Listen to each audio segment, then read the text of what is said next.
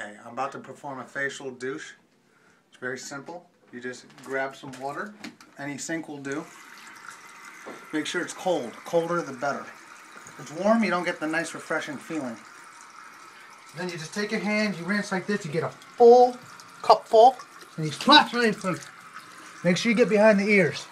Very important. It's not enough. You want to do it again so you don't taste that sweat on your pores anymore. You do this because you're hungover the next day and all the alcohol permeates out of your face. So it's probably advised to do this at least three to five times after you're hungover, while you're hungover. That's it. Then you just grab a towel and you dry off. But don't dry off all the way because you want that nice cool cold water to hit you still when the air hits it. Keeps your whole body cool. Keeps the homeostasis perfect.